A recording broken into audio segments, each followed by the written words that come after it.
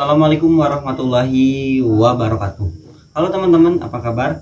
Kali ini saya akan membagikan cara atau tips untuk membersihkan hidung menggunakan cairan infus ya atau menggunakan cairan NaCl ya.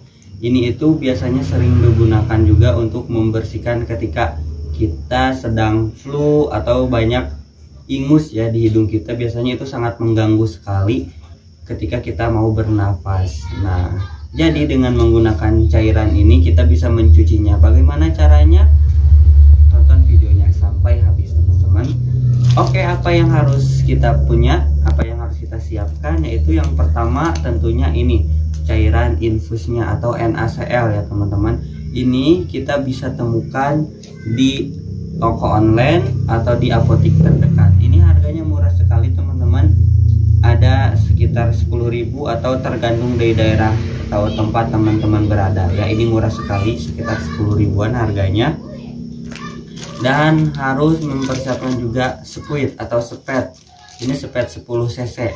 Ini juga murah harganya cuma 2500 saja satu ini ya teman-teman. Jadi silahkan teman-teman cari ya.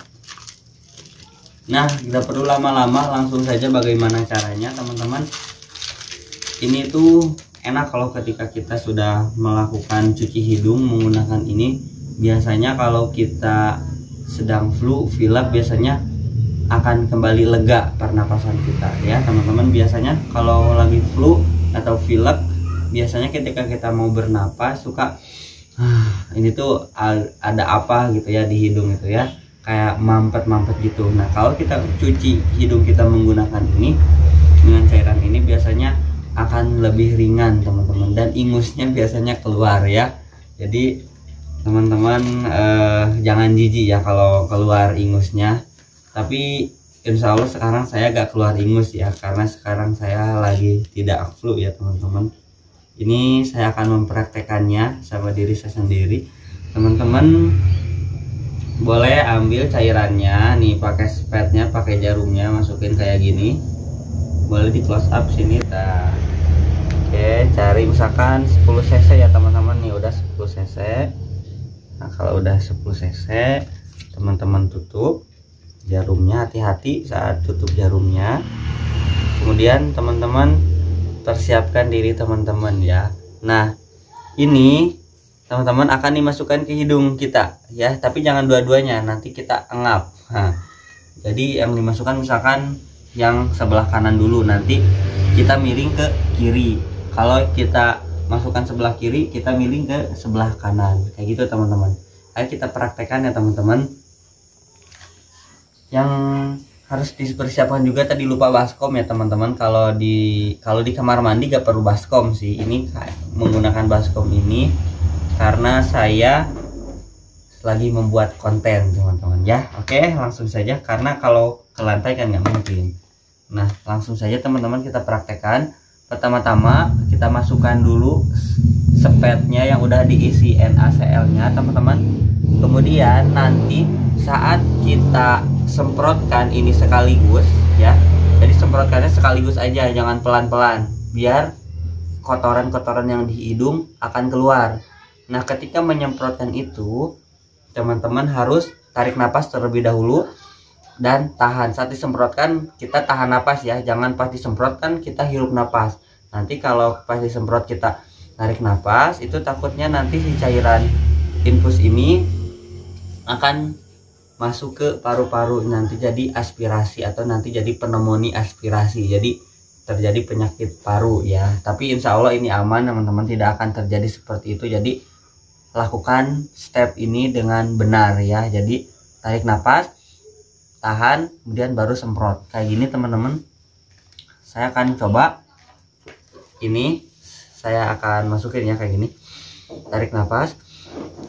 Tahan kemudian semprotkan.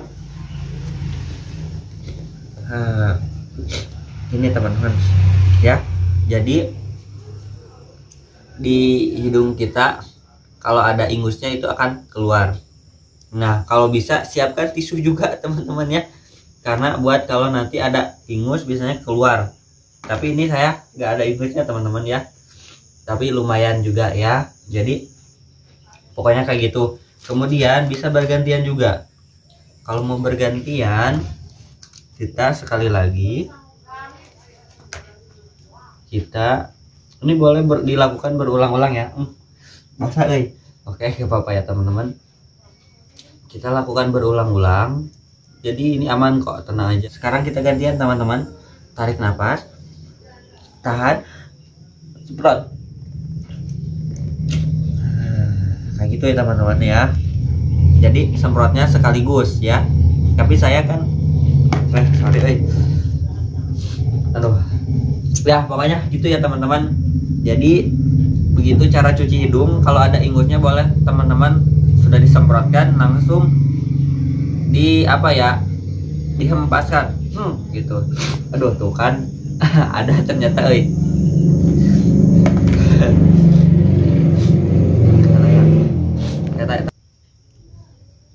Nah, itu dia teman-teman ya. Tadi barusan kita sudah mempraktekkan bagaimana cara mencuci hidung kita menggunakan NaCl cairan infus dan spet 10 cc ini ya. Mudah sekali kan teman-teman. Jadi langsung saja tarik nafas, miringkan, semprotkan. Nanti akan keluar cairannya ke sini ya dan tahan nafas. Terima kasih teman-teman sudah menonton video ini semoga video ini bermanfaat buat teman-teman dan ini bisa menjadi solusi buat teman-teman yang mempunyai hidung mampet ya teman-teman jadi ini bisa teman-teman coba ya. Terima kasih banyak. Jangan lupa subscribe like komen dan share dan bagikan video ini untuk yang membutuhkan. Terima kasih. See you next video. Assalamualaikum warahmatullahi wabarakatuh